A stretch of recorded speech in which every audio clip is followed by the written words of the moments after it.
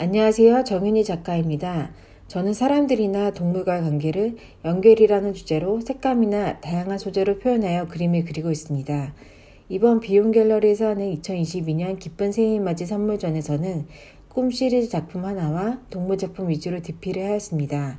꿈 시리즈 작품은 꿈속에서 상상할 수 있는 모든 것을 표현하고자 하였고 사랑스러운 자신의 애착 인형인 곰돌이 인형과 함께 아이가 꿈속을 통로 삼아 행복해하는 모습을 그려내고자 하였습니다. 제가 그려내는 동물들은 사람과 사람 사이에 사람만으로는 채울 수 없는 빈 공간을 고양이나 강아지, 다른 동물들이 채워주며 같이 살아가는 존재로서 의인화하기도 하고 함께 살아가는 모습을 그려내고 있습니다. 감사합니다.